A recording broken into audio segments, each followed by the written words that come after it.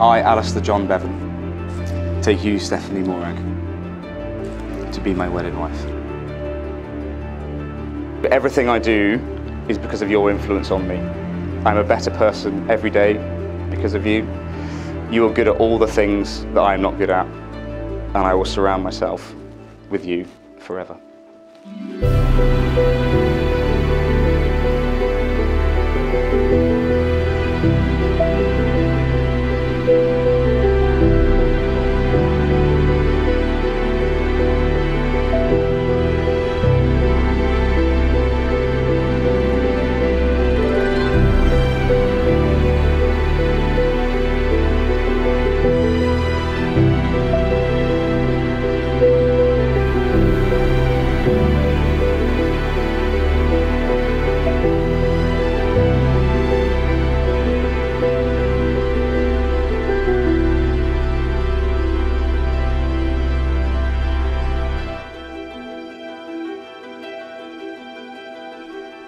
But hand on my heart, I genuinely can't wait to grow old with you, my handsome soulmate.